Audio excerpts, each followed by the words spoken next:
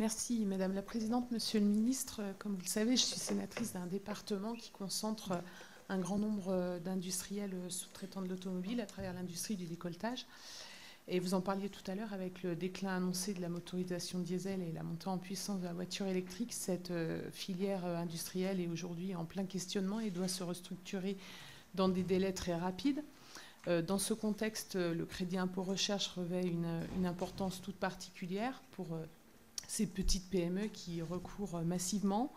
Or, plusieurs industriels m'ont alerté sur le fait que des actions en reprise de ces CIR sont actuellement menées par l'administration fiscale et peuvent remonter jusqu'à 2015, ce qui est quand même euh, assez euh, euh, comment dire, problématique pour ces, pour ces industries qui sont déjà dans un contexte difficile. Donc, je souhaitais avoir votre point de vue sur cette question. Je vous remercie.